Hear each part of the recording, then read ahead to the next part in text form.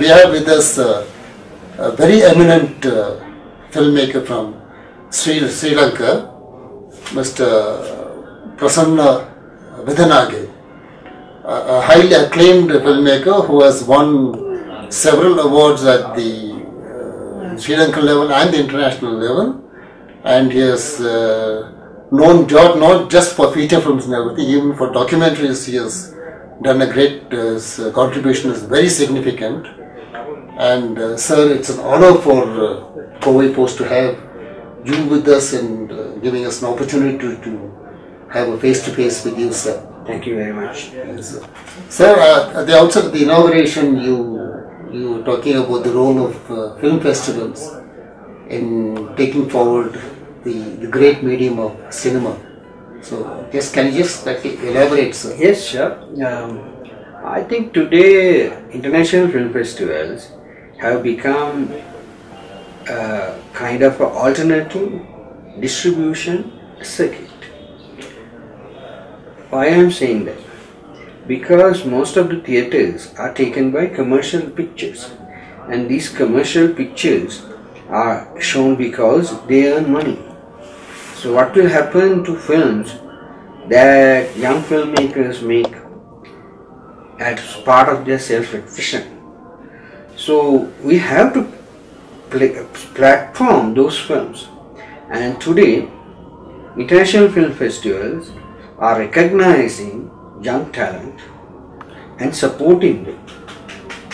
So even I have been, uh, let's say, benefited by international film festival all over the world. Yes. So that, that's why Ooty Film Festival is very important to bring out the talent of the young people, not only in Ooty, in Chennai, other parts of India, and maybe in the subcontinent. Yes, sir. How do you see the beginning, like this Ooty Film Festival? What do you what do you feel is the potential? I think it has created good vibes, and uh, they have uh, selected very good amount of films. Yes, sir. Uh, and uh, I see a lot of young enthusiasts Okay, in the theatre and the outside very good, sir. participating in the forums and watching movies.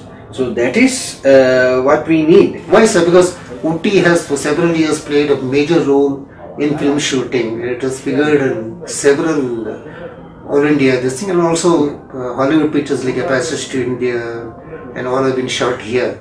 Is that the reason that you know there is some sort of a link between cinema and Ooty and, and, and the future of cinema? I think it's a right destination for an international film festival, and it should be a calendar date. Yeah. What, for sh- Ooty. what should the organizers kind of focus on?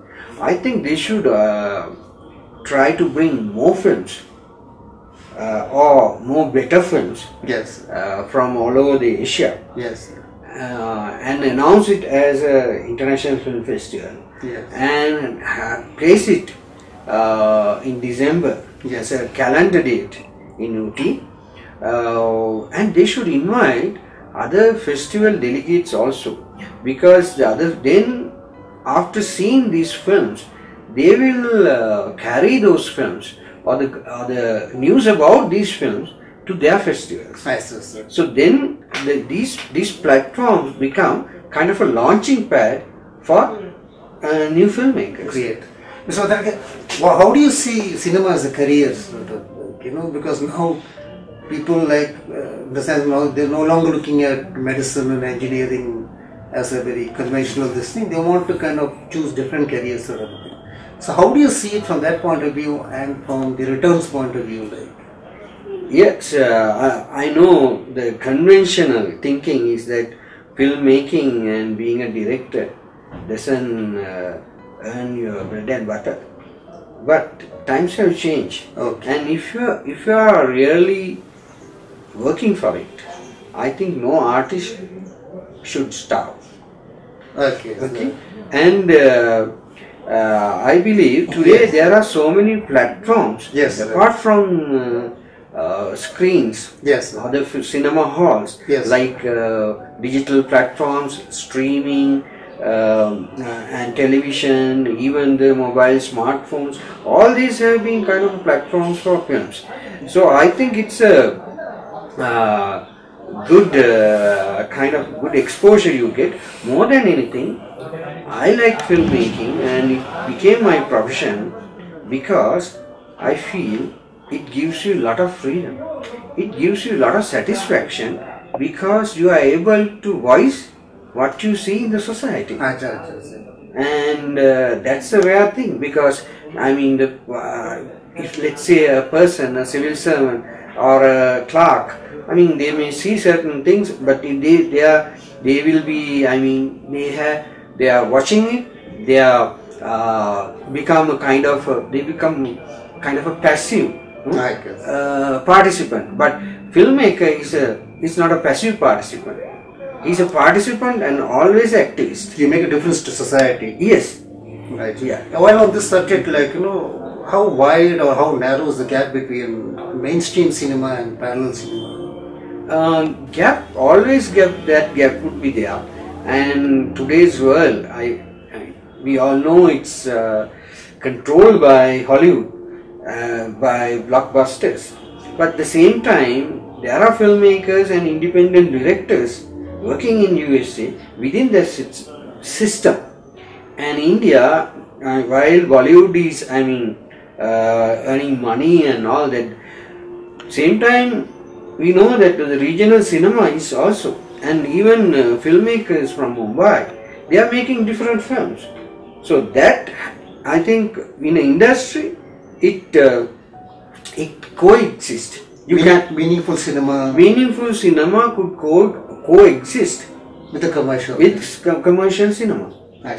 Yeah, the other way, wa- other as I said in the beginning, that's why the, yeah, we need these film festival. Yeah. So not only coexistence to create a niche market or niche platform Right. for the meaningful cinema. Fine. But, but then how is the growing dependence on graphics? Like you find now filmmakers, instead of this good old way of having people in- doing everything in front of flesh and blood, they're dependent so much on graphics that they film complete a film in a, within inside a room.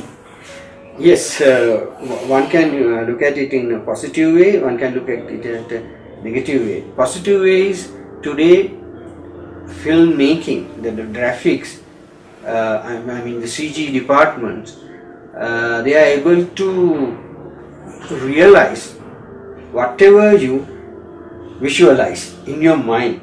That's a positive thing. And too much dependent on the graphics while forgetting the characterization Yeah. forgetting the human being is a negative factor. Yes.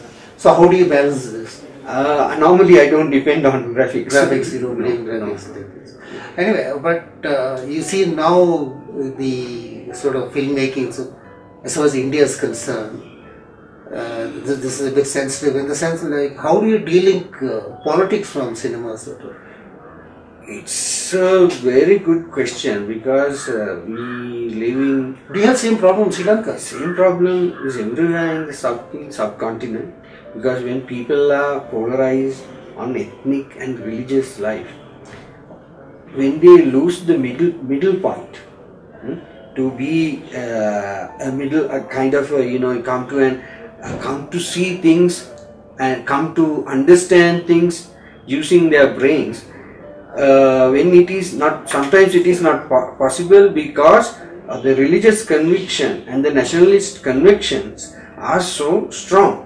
And sometimes the governments are promoting this nationalistic and exploiting. exploiting the I mean the fears of the people. So it's bad, and it's bad in the sense the filmmaker, the one who see certain truths, maybe he he sees something uh, not according to the government line. So he will be in trouble Yes. because the censorship will go against him. then won't it affect the future of cinemas Of course, but you have we have to remember it's not the first generation. It's not only us that facing uh, uh, censorship. It, I mean, uh, let's say uh, how many great films that Iran, how Iranian filmmakers have made under mullahs. Uh, I mean, uh, they are controlled. Eh, and uh, during the Stalinism mm, in the Eastern Europe, how many filmmakers made beautiful and great films. So always filmmakers should stick to their conviction and whatever happens, they should stick to the truth. When I say convictions, that means truth, not their own belief. Because it's a, every film is for me uh, is kind of a search for truth.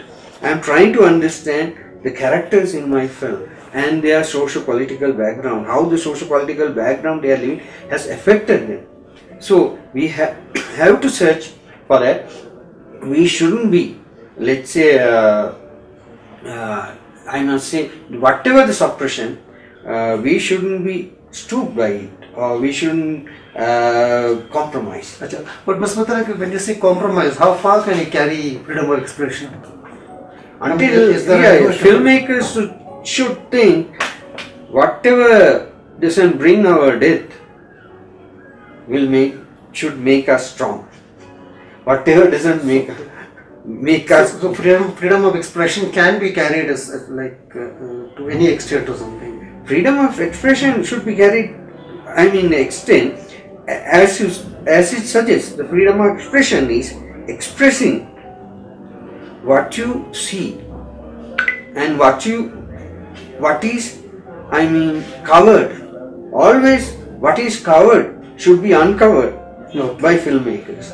Okay, just uh, when we say in the context of Padmavati, Mhm. we must be following what's happening. And, and you find like uh, the Indian cens- censor board is still kind of keeping it pending sort of a thing, and the British have given uh, certificate for that. uh, Yeah. Sort of. So, is the can't we have some sort of a global standard? Uh, uh, can that global standard kind of apply to all countries? As a filmmaker, I believe that there shouldn't be any kind of censorship. There, there shouldn't be any kind of censorship. There should be only standardization or on rating. Hmm? Because you, uh, what, uh, what the other countries do, let's say uh, British Board of Censor Board, censor certificate, they give a certificate because they have certain rating system. This film is good for all the, I mean, it's a universal, should be, it's a universal, and all the, uh, I mean, from the ch- chil- little children uh, and all the adults could be could, this film could be weaved together. So that's one thing. And if, uh, if it is an adult uh, subject, then they will give us it's a, it's a mature audience certificate. Yes. So film the the, the board's uh, job is Yeah. not to censor film. Yes.